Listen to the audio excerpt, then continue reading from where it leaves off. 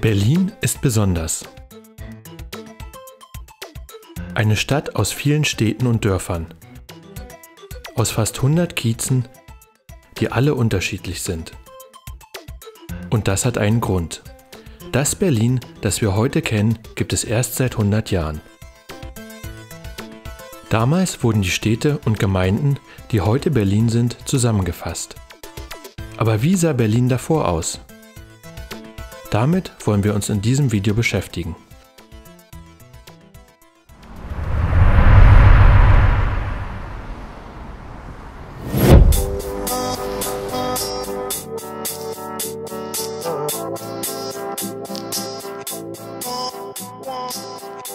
Wedding, Tiergarten, Mitte, Kreuzberg, Friedrichshain und Prenzlauer Berg.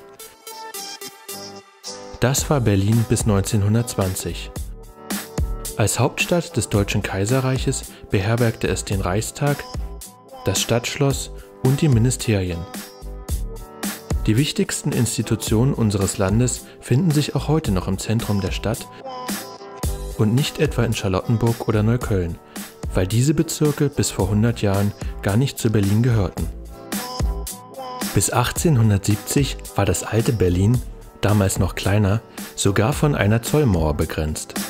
Sie diente dazu, den Handel zu überwachen. Heute ist von ihr kaum noch etwas übrig. Und doch ist sie über ihre Tore und Schleusen irgendwie noch immer auf dem Stadtplan präsent. Brandenburger Tor, Hallisches Tor und der Oberbaum waren Zollkontrollpunkte an dieser Mauer. 1920 war die Trennung zwischen Berlin und seinem Umland nicht mehr so klar.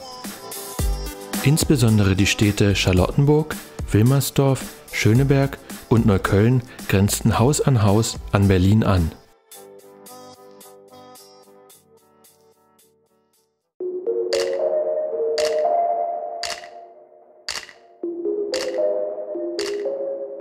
Der eigene Charakter, den diese Bezirke noch heute haben, kommt aus der Zeit, als sie eigene Städte waren.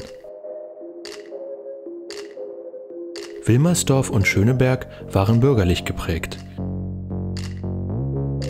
Den Ruf als Unterhaltungsviertel hatte Neukölln hingegen schon, als es noch Rixdorf hieß. Die Städte und Orte um Berlin hatten prunkvolle Rathäuser, die heute mitunter einem einfachen Stadtbezirk kaum noch angemessen erscheinen. Jemand, der Berlin nicht kennt, könnte kaum entscheiden, welches dieser Rathäuser das eines Bezirks und welches das von Berlin ist.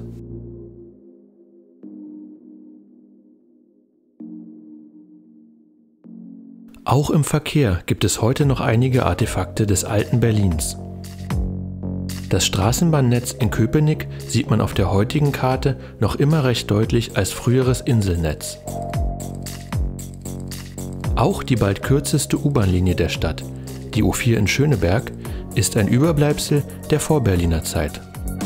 Getrennt vom restlichen Netz wurde sie 1910 als erste kommunale U-Bahn Deutschlands eröffnet, um Schönebergs Stadtgebiet mit einem modernen Verkehrsmittel zu erschließen.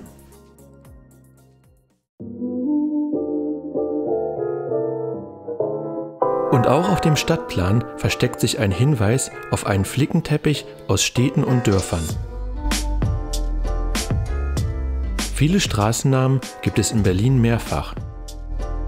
Die Bahnhofstraße etwa gibt es achtmal,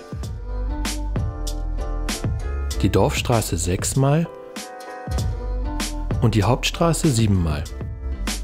Hauptstraßen gäbe es noch viel mehr, wenn sie nicht nach der Vereinigung zu Groß-Berlin umbenannt worden wären.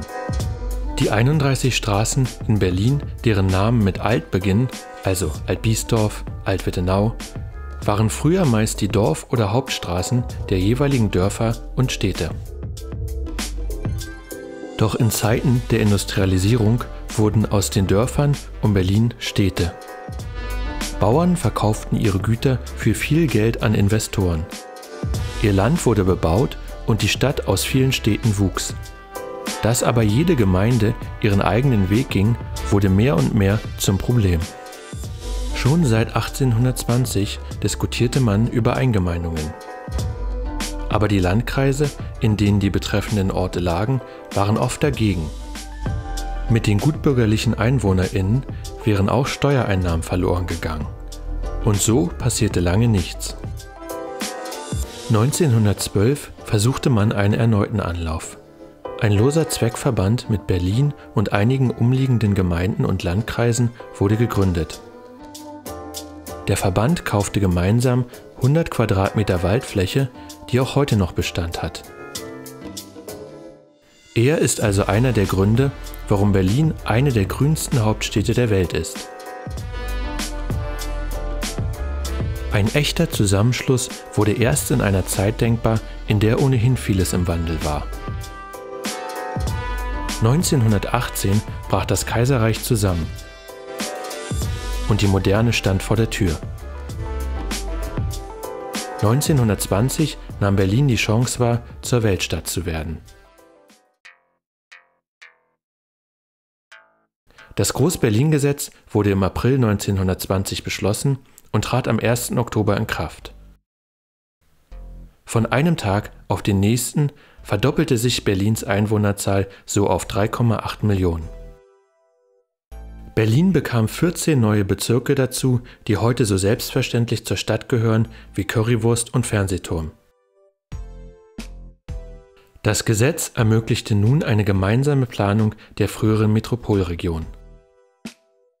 Es war die Voraussetzung für die weitere Entwicklung der Stadt, mit allen Brüchen, die noch auf sie zukamen.